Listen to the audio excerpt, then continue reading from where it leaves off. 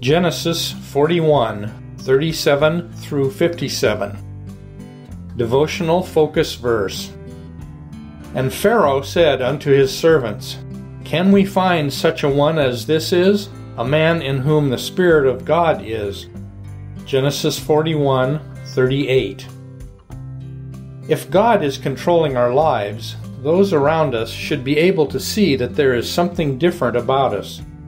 This was true in the life of the young man who worked with Chic Beasley many years ago. Chic testified, I was just a railer and a blasphemer when I came to God. I operated a big saw in a manufacturing plant. We worked on a bonus system. The faster you could put that material through, the more you made. I was pretty hard to get along with. I used to curse, rant, rave, throw things around, and act like a fool.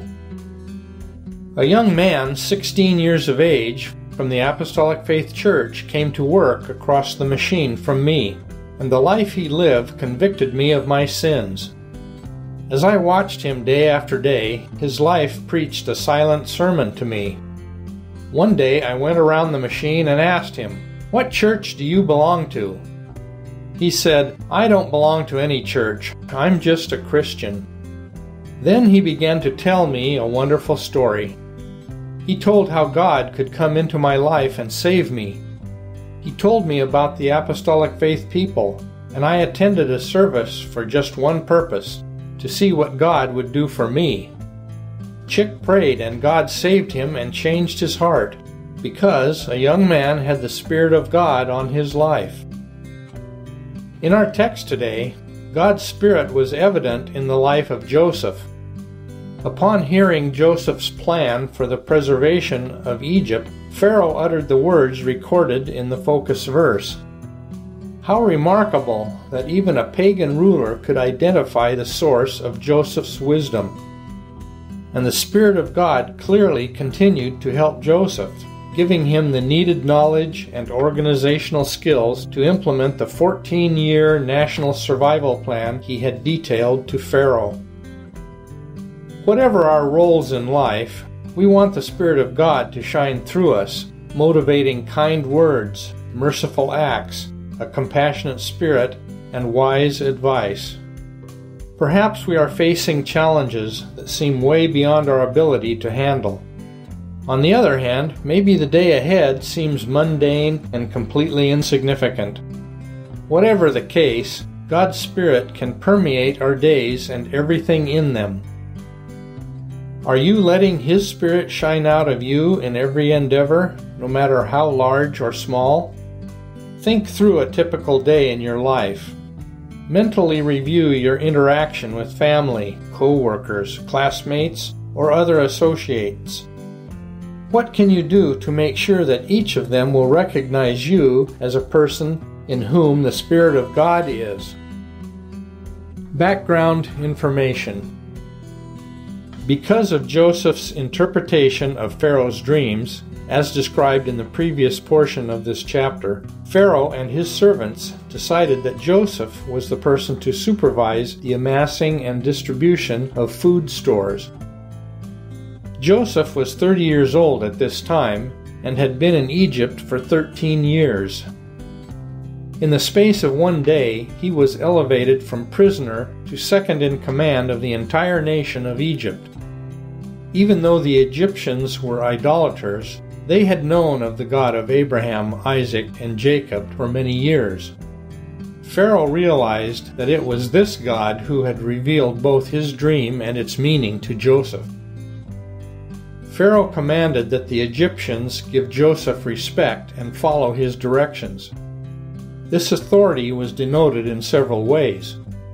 Joseph was given Pharaoh's signet ring, which was used to sign documents by impressing it into clay or wax.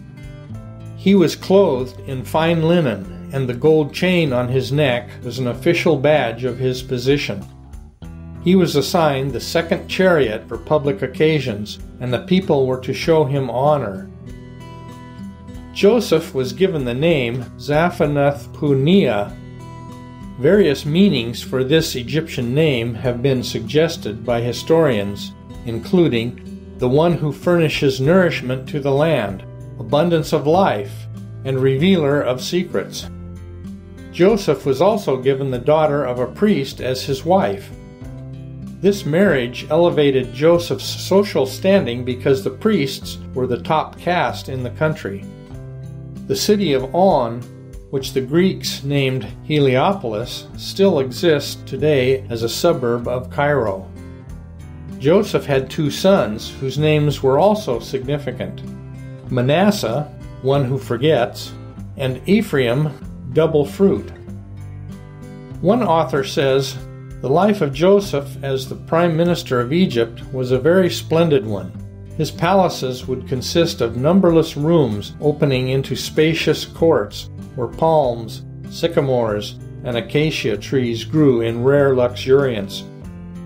Rare perfumes rose from vases of gold and bronze and alabaster, and the foot sank deep in carpets covering the floors.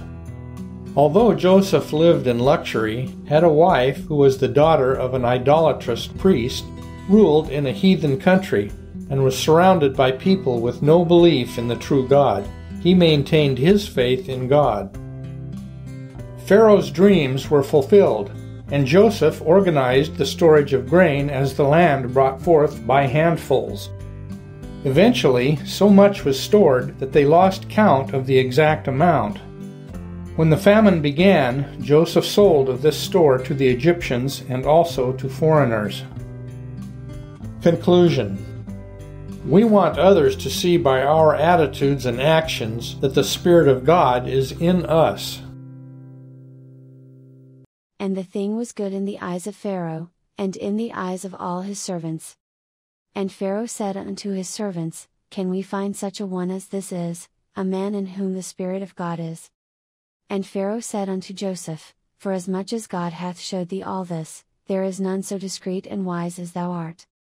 Thou shalt be over my house, and according unto thy word shall all my people be ruled, only in the throne will I be greater than thou. And Pharaoh said unto Joseph, See, I have set thee over all the land of Egypt. And Pharaoh took off his ring from his hand, and put it upon Joseph's hand, and arrayed him in vestures of fine linen, and put a gold chain about his neck. And he made him to ride in the second chariot which he had, and they cried before him, Bow the knee, and he made him ruler over all the land of Egypt. And Pharaoh said unto Joseph, I am Pharaoh, and without thee shall no man lift up his hand or foot in all the land of Egypt. And Pharaoh called Joseph's name Zaphnath-Paaneah, and he gave him to wife Asenath the daughter of Potiphera priest of On. And Joseph went out over all the land of Egypt. And Joseph was thirty years old when he stood before Pharaoh king of Egypt. And Joseph went out from the presence of Pharaoh, and went throughout all the land of Egypt. And in the seven plenteous years the earth brought forth by handfuls. And he gathered up all the food of the seven years, which were in the land of Egypt, and laid up the food in the cities, the food of the field, which was round about every city, laid he up in the same. And Joseph gathered corn as the sand of the sea, very much, until he left numbering, for it was without number. And unto Joseph were born two sons before the years of famine came, which Asenath the daughter of Potiphera priest of On bare unto him. And Joseph called the name of the firstborn Manasseh, for God, said he, hath made me forget all my toil, and all my father's house. And the name of the second called he Ephraim, for God hath caused me to be fruitful in the land of my affliction. And the seven years of plenteousness, that was in the land of Egypt, were ended. And the seven years of dearth began to come, according as Joseph had said, and the dearth was in all lands, but in all the land of Egypt there was bread. And when all the land of Egypt was famished, the people cried to Pharaoh for bread, and Pharaoh said unto all the Egyptians, Go unto Joseph, what he saith to you, do. And the famine was over all the face of the earth, and Joseph opened all the storehouses, and sold unto the Egyptians, and the famine waxed sore in the land of Egypt. And all countries came into Egypt to Joseph for to buy corn, because that the famine was so sore in all lands.